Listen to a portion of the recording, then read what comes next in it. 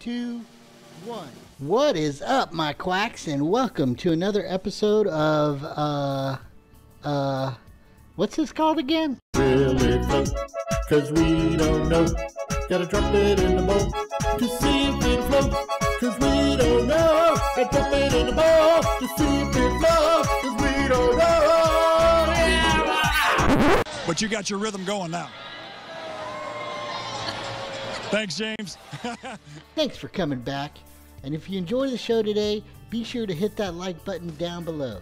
So let's get to it and check out what today's item is. Are you blowing bubbles? I'm gonna have to spank you. Okay, now you good? All right, what do we got here?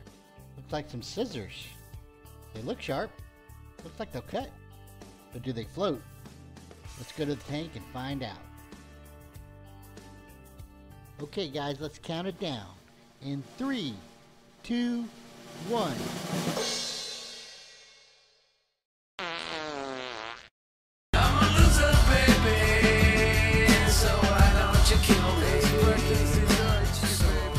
Well, there you go, and now you know.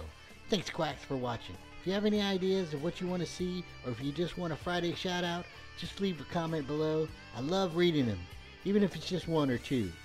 Keep spreading the quack around and tell all your friends to check out the channel and subscribe. We'll see you later.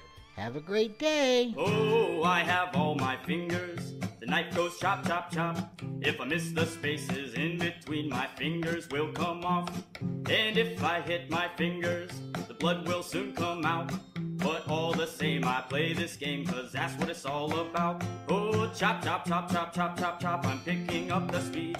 And if I hit my fingers, then my hand will start to bleed.